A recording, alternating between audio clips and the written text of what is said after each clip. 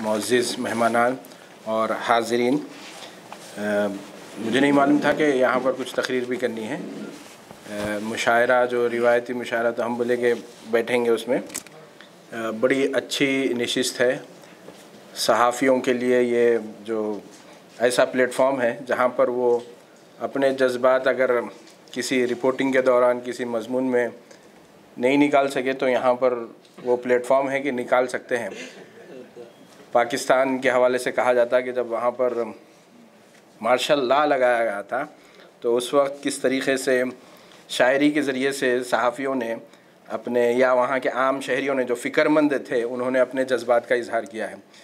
बहरहाल एक जो चीज़ है, देखिए, मैं बुनियादी तौर पे एक तालब इल्म हूँ शेर मुझे कहना नहीं आता है।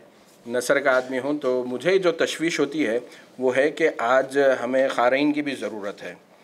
और ख़ास तौर पर मेरी ये दरख्वास्त है कि अब आप अखबार में इशात की फ़िक्र मत कीजिएगा। जो मोबाइल फ़ोन ने आपको जो प्लेटफॉर्म दिया है, उसके ज़रिए से आपका रोज़ का एक शेर, ग्रुप बनाइएगा, उसके ज़रिए से जो है आप उसको वो कीजिएगा। ख़ास तौर पर उर्दू अखबार भी उस हवाले से तवज्जो दे सकते हैं, जैसे न्यूज़ 18 का जो उर्दू का जो पेज है और उसकी जो टीम है, वो लोग रोज़ाना मुसलसल एक शेर और साथ में उनका टीवी का लोगो होता है, उसके ज़रिए से वो तशहर करते हैं। तो मैं ये चाहूँगा कि आप में से हर एक का एक व्हाट्सअप का ग्रुप हो या पेज हो, जिस पर आपकी तख्लीक़ात पहुँचती रहें। और फिर वो आवाम के दरमियान वो ऐसा वसीला है, उसके ज़रिए से रास्त रबता होता है, चाहे अखबार में छपे या ना छपे। दीगर हजरात से भी ये बात मैं गोश गुजार करा था तो वो चीज़ है। तो हमारी जो शायरी है, वो इस तरह की खवास की मजलिस से निकल के आवाम के दरमियान पहुँचना है और वही हमारी पहचान है।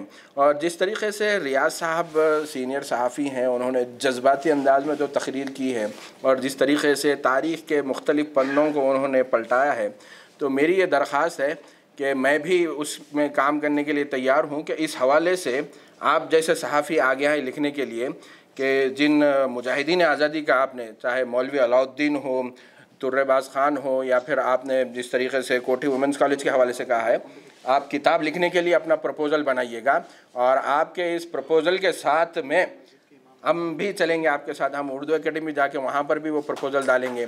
एनसीपीएल में डालेंगे, चूँकि तारीख़ के हवाले से ये बड़ा तशवीश की बात है कि तारीख़ हम पढ़ते नहीं। और आप यकीन मानिए, जज्बाती तौर पर हम तकरीर करेंगे, अगर मेरा लड़का खड़े होकर मुझसे ये कहे कि मैं एमए हिस्ट्री करना चाहता हूँ, क्या मैं करने दूँगा? हमारे सामने तो दो ही ऑप्शन है डॉक्टर या इंजीनियर तो हम यहाँ ठहर कर चाहे बड़ी बड़ी तकरीरें कर ले, तारीख़ में ये हो रहा है। तो ए, आप इस चीज़ को समझिएगा कि जो सिलेबस बनाया जाता है निसाबी जैसे फॉर्मेशन ऑफ़ तेलंगाना के बाद भी जो सिलेबस बनाया गया है सिलेबस बनाने के लिए शोरा को दावत नहीं दी जाती। सिलेबस बनाने के लिए सहाफ़ियों को दावत नहीं दी जाती।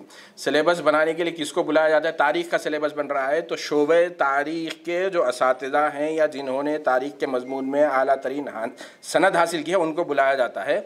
तो हमारी जो तारीख़ी उस्मा यूनिवर्सिटी आप उसको उठा के देख लीजिएगा। वहाँ पर शोबे तारीख़ में कितने मुसलमान बरसर कार हैं, बतौर प्रोफेसर, उस्ताद के, उनको दावत दी जाएगी। फिर हम कब मार्केट में आते हैं, हम कब हमारे जज्बात जागते हैं, जब उनकी लिखी हुई तारीख की किताब बाज़ार में आती है, तब भी आपके नज़र नहीं पड़ती है आपके बच्चे के बैग में आती है, तब भी आपके नज़र नहीं पड़ती। फिर कोई दुकानदार दुकान पर बैठे बैठे खाली वक्त में जब उस पर नज़र डाल लेता है, एक फ़ोटो खींच के, एक वीडियो बना के आपको गिरत दलाता है कि भाई ये क्या हो गया है, तारीख में ऐसा है जो तब आप जो है फ़ौरी उसको शेयर करने लगते हैं, जाके पब्लिशर के ख़िलाफ़ आप बयान देना चाहते हैं। वो ये मसला है तो आप सोच लीजिए, जब तक के कौम की तारीख़ जो है, वो लिखने के लिए आगे नहीं आएँगे। तो लाजमी बात है, उसके लिए आपको मजमून पढ़ना पड़ेगा। तो वो चीज़ें भी नई तरजीहत मुरतब करने की ज़रूरत है। तो उस पस मंज़र में तारीख़ के मजमून पर भी तोज्जो देने की ज़रूरत है कि जो कौम अपनी तारीख़ को याद नहीं रखती, वो फिर वो तारीख़ गवाही के दर बदर की ठोकरें खाती है। तो ऐसी ही कुछ सूरत हाल है। बहरहाल बड़ा अच्छा प्लेटफॉर्म है। बड़े मतलब सीनियर लोग बैठे हैं।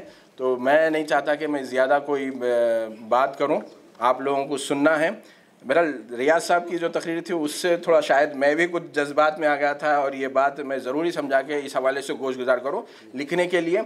यकीनन मैं भी तैयार हूँ उस हवाले से और मैं तो ये चाहूँगा कि अभी आप शेरी जो तख्लीक़ात हैं उनसे भी इसी मौजू पर आ, वो कीजिएगा। तो उसका एक मुनफरद कोशिश हो सकती है और ये कोशिश करना चाहिए। आम जो लिखने वाले हैं और जो आप जैसे खवास सहाफ़ी हजरात हैं इस जानेब आप तोज्जो दें।